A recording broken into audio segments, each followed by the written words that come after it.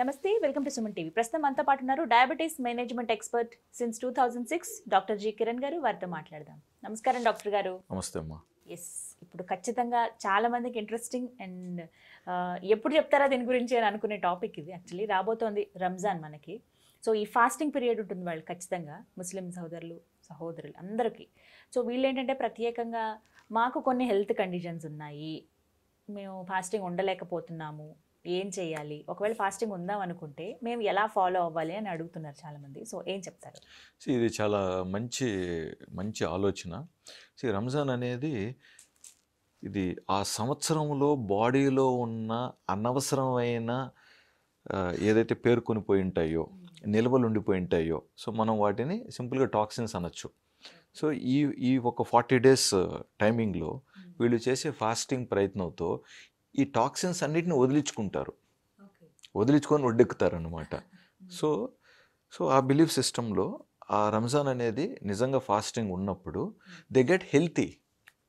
ఇప్పుడు ఐదు కిలోలు ఆరు కిలోలు బరువు తగ్గుతారు చాలామంది తగ్గాలనుకున్న వాళ్ళు బరువు తగ్గుతారు.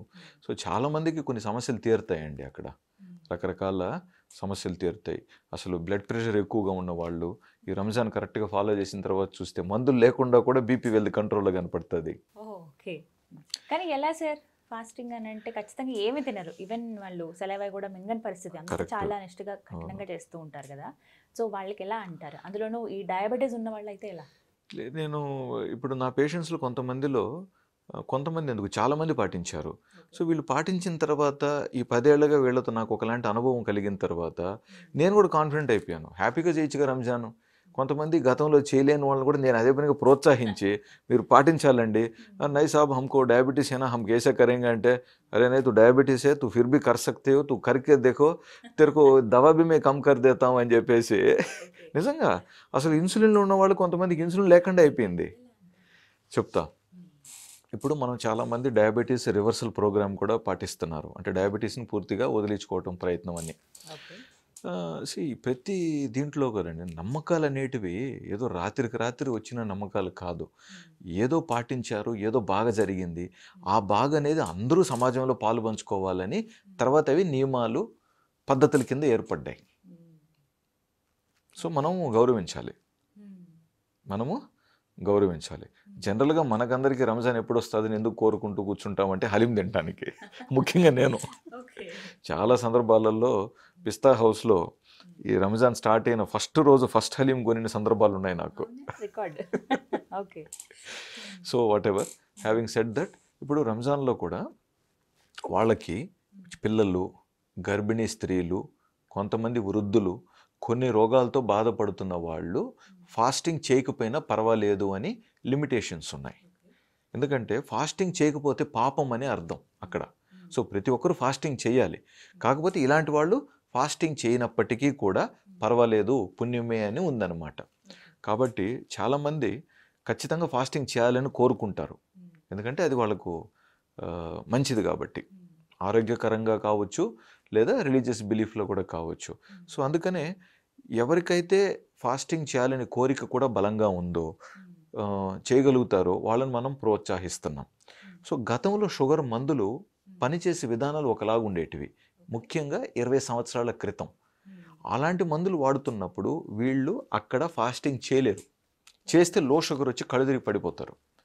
కాబట్టి డాక్టర్లుగా మేము ఆ రోజుల్లో ఫాస్టింగ్ వద్దనే నమ్మాం.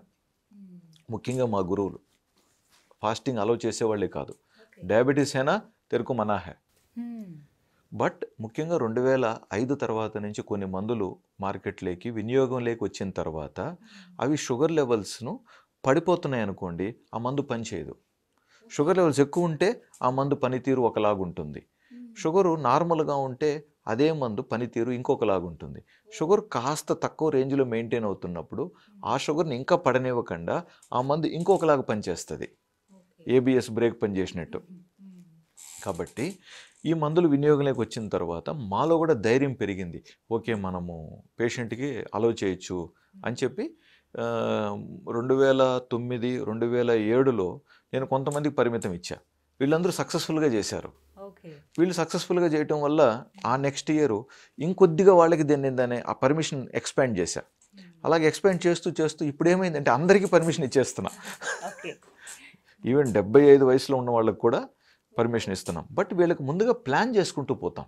కొంతమందికి కష్టమైన వాళ్ళల్లో ఎక్కువ కాలంతో డయాబెటీస్ బాధపడుతున్నారు వృద్ధాప్యం దగ్గరున్నారు వీళ్ళకి కొన్ని కష్టాలు ఉంటాయి లేదా వీళ్ళు ఇన్సులిన్ వాడుతున్న వాళ్ళు అయింటారు లేదా వీళ్ళకు లో షుగర్ తరచూ వచ్చే ప్రమాదం గతంలో ఉండిండొచ్చు. సో ఇలాంటి వాళ్ళకి కొంచెం ప్రత్యేకతలు ఉన్నాయి సో వాళ్ళు ఖచ్చితంగా వాళ్ళ డాక్టర్ పర్మిషన్ లేకుండా ఎటువంటి సొంత నిర్ణయాలు తీసుకోకూడదండి. ఎవరైతే దీర్ఘకాలంగా మీరు ఏ డాక్టర్ని అయితే సంప్రదిస్తున్నారో ఆ డాక్టర్ పర్మిషన్ లేకుండా చేస్తే చాలా ప్రమాదకరం. ఎలా చేయాలో చెప్పండి సో ఇప్పుడు చేయగలిగిన వాళ్ళు చేయాల్సిన వాళ్ళు పాటించాల్సినవి ఏంటంటే ఇక్కడ కూడా నేను మళ్ళీ ఈవినింగ్ ఎప్పుడైతే వీళ్ళు ఫాస్టింగ్ బ్రేక్ చేస్తారో షుగర్ ఐటమ్స్ అవాయిడ్ చేయమంటాం. పొద్దుటి నుంచి మనం ఫాస్టింగ్ చేశాం కదా అని చెప్పేసి ఒక్కసారిగా స్వీట్లు తింటానంటే వద్దు. బట్ మేబీ అక్కడ ఖర్జూరం తినచ్చు ఫ్రూట్స్ తినచ్చు. ఇట్లాంటివి తినచ్చు కానీ స్వీట్ ఐటమ్స్ వద్దు. ఏది ప్యూర్గా చక్కెరతో చేసినవి వద్దు అక్కడ ఎందుకంటే ఆ తర్వాత మళ్ళీ డిన్నర్ చేస్తారు కదా. పద్ధతిగా ఫుడ్ ఏదైతే మెయిన్ ఫుడ్ తింటారో ఆ ఫుడ్ తినే సమయానికి వీళ్ళలో ఇన్సులిన్ తక్కువ ఉంటుంది కదా సరిపోదు ఇన్సులిన్. కాబట్టి ఇన్సులిన్ కొంచెం మిగలబెట్టుకోవాలి మనం అక్కడ ఈవినింగ్ టయానికి. అదేవిధంగా మార్నింగ్ ఎప్పుడైతే వీళ్ళు ఫుడ్ తీసుకుంటారో మిగతా వాళ్ళు ఏంటి కొంచెం స్వీట్ ఐటమ్స్ కూడా తింటారు అనుకుందాం. వీళ్ళు ఆ స్వీట్ ఐటమ్ తినకూడదు. స్వీట్ ఐటమ్ తినకుండా కొంచెం జీర్ణం అవటానికి కాస్త కొంచెం టైం పట్టే ఆహార పదార్థాలుగా కొంచెం ఎక్కువ కాలం అవి అరుగుతూ అరుగుతూ షుగర్ని బాడీకి అందించేలాంటి ఆహారాలు వీళ్ళు తీసుకోవచ్చు. సో నేనేమంటున్నాను అన్నీ తినచ్చు బట్ షుగరు వద్దు అంటున్నా అంతే. షుగర్ వాడటం కానీ షుగర్ ఫ్రీ వాడటం కానీ బెల్లం వాడటం కూడా ప్రత్యేకించి కొన్ని తినొద్దు అంటారు కదా సార్ అప్పుడు తినొచ్చా మరి? అంటే జనరల్గా వద్దంటాం మనం బట్ వీళ్ళు జనరల్గా అక్కడ తినే ఫ్రూట్స్ ముఖ్యంగా ఏంటి దానిమ్మ మనం ప్రోత్సహించేటివి. యాపిల్ జామకాయ సంత్ర బొప్పాయి తర్వాత మస్క్ మెలన్ ఇలాంటివి మనం ఎంకరేజ్ చేయొచ్చు.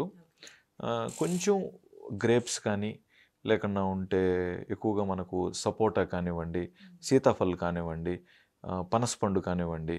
ప్లస్ రెండోది ఏంటి మనకు గతంలో జూన్ మాసంలో రమజాన్ వచ్చింది ఆ తర్వాత మే మాసంలో వచ్చింది ఆ తర్వాత ఏప్రిల్లో వచ్చింది. అక్కడ యాక్చువల్ చాలా కష్టంగా ఉండింది. ఎందుకంటే డే అనేది ఎక్కువ టైం ఉండింది వీళ్ళకి. ఇప్పుడు మార్చి దగ్గరకు వచ్చింది కాబట్టి కొంచెం ఈజీ అంత ఎండ ఉండదు పగులు అనేది అంత పెద్దది కాదు కాబట్టి ఇక్కడ ఈజీ స్లోగా అది ఎవ్రీ ఇయర్ ఫిఫ్టీన్ డేస్ ముందు వస్తూ ఉంటుంది.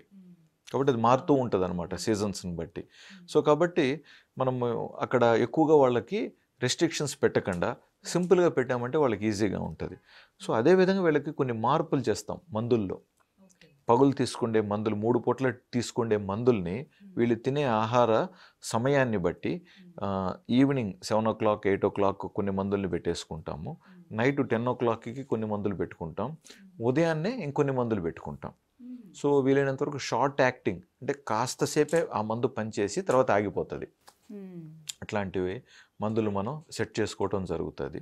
బట్ ఏదైనప్పటికీ కూడా వాళ్ళు వాళ్ళ డాక్టర్ పర్మిషన్ తీసుకొని చేస్తేనే మంచిది. సొంతంగా వద్దు. బట్ ఎవరైతే రీసెంట్గా షుగర్ వచ్చి ఉంటుందో షుగర్ వచ్చి ఎక్కువ కాలం అవ్వలేదు. ఈ మధ్య కాలంలో షుగర్ వచ్చి ఉంటుంది. ప్లస్ వీళ్ళు కొంచెం బరువు ఎక్కువగా ఉంటారు చూసారా? ఆడవారు కానీ మగవారు కానీ వీళ్ళైతే నేను ఖచ్చితంగా చేయమనే సలహా ఇస్తా. ఎందుకంటే వీళ్ళకి ఇన్సులిన్ లెవెల్స్ సరిపోతూ ఉంటాయి. ఇన్సులిన్ రెసిస్టెన్స్ అనేది వీళ్ళలో ప్రాబ్లం. అంటే ఇన్సులిన్ తక్కువై షుగర్ పెరగటం కాదు. ఇన్సులిన్ ఎక్కువై ఆ ఇన్సులిన్ సరిగ్గా పనితీరు లేక షుగర్ పెరుగుంటుంది వీళ్ళల్లో. ఇన్సులిన్ రెసిస్టెన్స్ వీళ్ళలో ప్రాధాన్యంగా. కాబట్టి వీళ్ళు కరెక్ట్గా కానీ పాటిస్తే తర్వాత మందులు చాలా తగ్గే అవకాశాలు కూడా వీళ్ళలో ఉంటాయి అన్నమాట సో ముఖ్యంగా ఈ రంజాన్ని వీళ్ళు అవకాశంగా తీసుకొని బరువు తగ్గి మళ్ళీ బరువు తర్వాత ఇమీడియట్గా పెరగకూడదు. మెయింటైన్ చేయాలి ఆ డైట్ని కొంతకాలం పాటు. మంచి డైట్ని మెయింటైన్ చేసుకొని ఆ, విధంగా చాలా వరకు గైడెన్సెస్ ఇప్పుడు మనకు దాన్ని బట్టి చాలా మెటీరియల్స్ కూడా మనకు ఉన్నాయన్నమాట. నెట్లో కూడా దొరుకుతున్నాయి ఇవి. ఇంకొంచెం డీప్గా కూడా వీళ్ళు స్టడీ చేసుకోవచ్చు. లేదా ఇంకొకసారి మనం ఇంకా డీటెయిల్గా కూడా ఇదే టాపిక్ మీద మనం ఇంకొక ప్రోగ్రామ్ కూడా చేసి వ్యూవర్స్ కూడా ఈ వీడియో చూసిన తర్వాత మీకు ఈ రంజాన్ సీజన్లో ఇంకా ఎలా ఫాస్టింగ్ చేయాలి? ఎలాంటి ఫుడ్ తీసుకోవాలని కానీ లేకపోతే అసలు లైఫ్ స్టైల్ ఎలా మెయింటైన్ చేయాలి పర్టికులర్గా ఈ డేస్లో అని ఇంకేమైనా డౌట్స్ ఉంటే కామెంట్ రూపంలో మీ డౌట్స్ని మీ క్వశ్చన్స్ని రేజ్ చేస్తే డాక్టర్ గారు ఖచ్చితంగా సలహా ఇస్తారు. సరైన సూచన మీకు అందిస్తారు. ఓకేనా డాక్టర్ గారు? అవునండి. ఎందుకంటే మీరు అన్నట్లుగా ఒక్కొక్కరికి ఒక్కొక్కలాంటి అవసరాలు ఉంటాయి. మళ్ళీ మనం హైదరాబాద్లో చూసామనుకోండి ప్రత్యేకంగా హైదరాబాద్లో పట్టుదల కూడా బాగా చేస్తారు. ఇప్పుడు నేను గతంలో నంద్యాలలో కూడా నేను చికిత్స ఇచ్చాను కదా అక్కడ ఖచ్చితంగా చేయాలా అనే పట్టుదల కాస్త తక్కువ. అంటే ప్రాంతాలను బట్టి దాని మీద ఉన్న నమ్మకాలు మారుతూ ఉంటాయి వేరీ అవుతూ ఉంటాయి. కాబట్టి ఎటువంటి ప్రాంతం వాళ్ళు ఎలాంటి చేయాలనుకుంటున్నారు? ప్లస్ ఫుడ్ ఐటమ్స్ అవైలబిలిటీని బట్టి కూడా. ఇప్పుడు హైదరాబాద్లో ఏంటి? కొంచెం మంచి రిచ్ కల్చర్ కాబట్టి ఇక్కడ ఒకలాంటి ఫుడ్ ఐటమ్స్ ఉంటాయి మనకి. ఇంకొక చోట వేరే లాంటి ఐటమ్స్ ఉంటాయి. కాబట్టి ప్రతి అవైలబిలిటీని బట్టి సమయాన్ని బట్టి ఆ కుటుంబ ఆర్థిక పరిస్థితిని బట్టి వాళ్ళ ఫ్రెండ్స్ రిలేటివ్స్ని బట్టి ప్లస్ ఇప్పుడు వాళ్ళు కూడా రకరకాల ఫ్యామిలీస్ ఉంటారు కదా. సో చిన్న స్థాయి వాళ్ళు కావచ్చు మిడిల్ వాళ్ళు కావచ్చు అప్పర్ వాళ్ళు కావచ్చు. సో వీళ్ళు కూడా తినేటివి వేరే వేరే ఉంటాయండి. సో అవన్నీ కూడా మనం గుర్తించి గమనించి వారి స్థాయికి వారి స్తోమతకి వాళ్ళ అర్హతకి వాళ్ళ ఆరోగ్య స్థితికి వాళ్ళ పట్టుదలకి పట్టి మనము ఇచ్చే సలహా కాస్త మారుతూ ఉంటుందనేది నా అభిప్రాయం అండి. తప్పకుండా. మీరే అంటే ఇంకా క్లియర్గా చెప్తే వాళ్ళకి అర్థం ఉంది సార్. మేబీ వాళ్ళే క్వశ్చన్ అడిగారు అనుకోండి కరెక్ట్ ఆన్సర్ వాళ్ళకి Definitely. Thank you so much sir. Namaste. All the best.